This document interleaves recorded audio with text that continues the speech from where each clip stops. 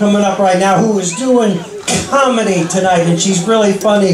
Give a nice hand for Chelsea Takami. Come on, give her a hand. Chelsea. Come on, Chelsea. Thanks, Peter. Holy shit. Hi, everybody. Hi, everybody. What's going on? Right here. So, uh, I'm Chelsea Takami. I was in a bar the other night. I was talking to this guy. And uh, I told him, half Japanese, half Colombian. And uh, I used to go by the name, my full name, Chelsea Sanchez Miyazaki. And he goes, wow, that's like rice on rice on rice.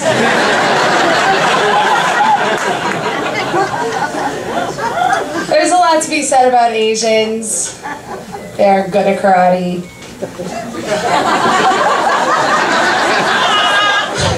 we'll get to that. They're bad drivers. it's true though. I know, I lived in Flushing. Anybody been in Flushing before? Worst fucking drivers in the world. Honestly, the DMV should just have their road test be you start off at Utopia and you go to Main Street Flushing, you get there unscathed, you pass. Really though, the reason that half of Flushing's population, and I know because I live there, has their license is because they paid off the motor vehicle department. it's expensive. Cost me 850 bucks. I did, in my time in Flushing, get really good at defensive driving though. I did get good at it. You know why? Because I learned how to dodge every other Asian. I did get into an accident on Northern Boulevard, though. Right in front of my Japanese dad's karate school. True story. It was my fault, though. I rear-ended a car full of Mexicans. I said, ah, shit. I don't want to call the cops. My dad would look out the window and see I'm a horrible driver just like he is. He'd be upset to know that that part of me takes after his side of the family. So I decided to go with my Hispanic half and play Let's Make a Game. I told him, please don't call the cops. My dad's got this dojo. I offered them a free karate lesson. We settled on weapons classes. the next day, four Mexicans walk into the dojo. They're carrying nunchucks, machetes, and AR-15s. The fucked up thing is that nobody in the dojo batted an eye. They all thought they were my mom's family.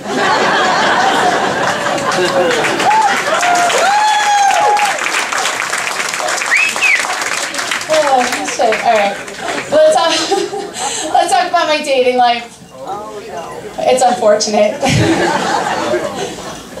What's up with guys and their dogs? I was, I'm on a date last week. It's going well. We go back to his house. We're on the couch. We're watching Netflix. His dog is adorable. He's a Mastiff, 120 pounds. Got a beautiful coat. These big, watery eyes. For a dog, though, biggest asshole you'll ever meet. This fucking dog jumped on the couch and bit me in the arm. Right here. I was really upset. Shocked, uh, honestly. I was like, the fuck? So, I, I hear, what's the matter, baby? Are you okay? What's the matter? What's the matter? So I'm like, all right, well, at least like this guy's caring. Obviously, it's not okay. So I look at him. He's talking to the fucking dog. then he goes to me and he goes, I hope you have all your shots. Said, of course I do, but you just lost yours.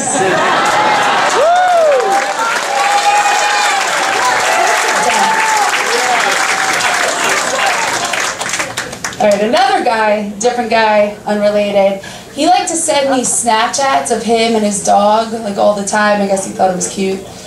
He didn't know that I had just gotten like this other, this other guy's dog tried to eat me.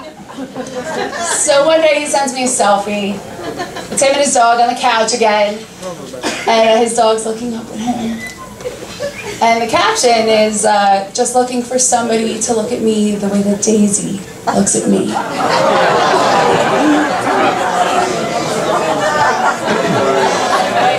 You know what I did?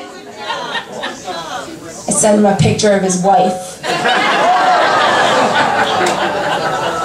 That's why I only date guys with cats. Oh my god, how much longer do I have left? Alright.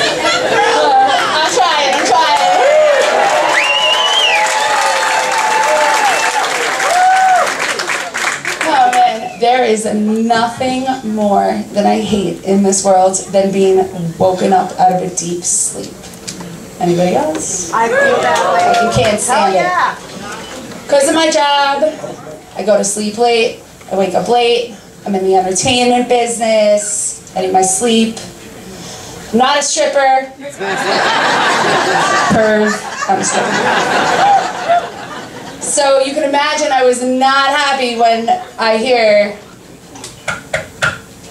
it was before noon. I was tired. So I open the door, pissed. And this guy is standing there holding a tray of food. And I was like, what?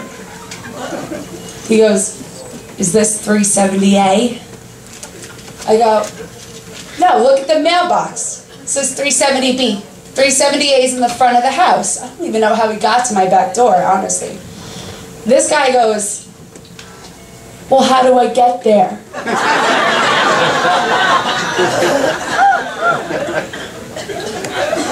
He doesn't know I do karate. I go, you're in luck, buddy. Just stand right there, wait for the shuttle.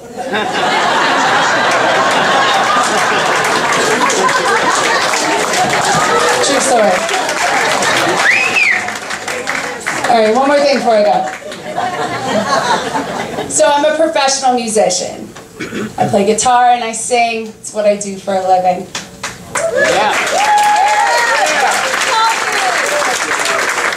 You think I would be less nervous to be up here, but no, it doesn't translate. So the thing about musicians is we encounter a lot of assholes, a lot. And uh, the second thing is we can always be bought. It's true. It's true. For honesty. So I'm playing a cocktail hour.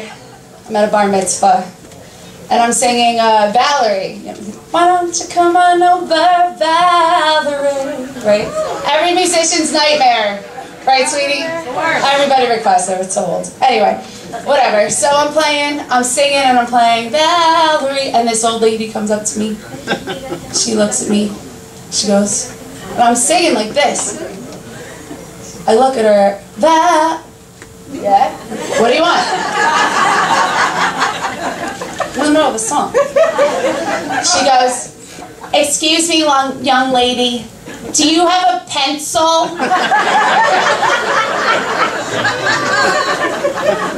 I'm like, lady, I'm in the middle of a song.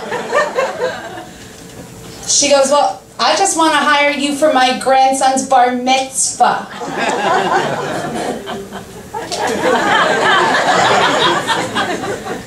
Do I have a pencil? Why don't you come on over, Valerie?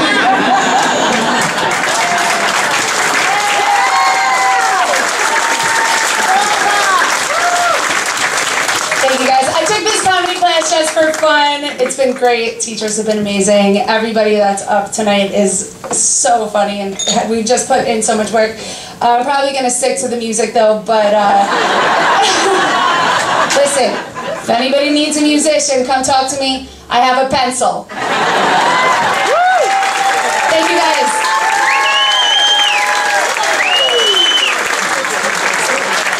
Chelsea Takami! Chelsea Takami! She has a pencil.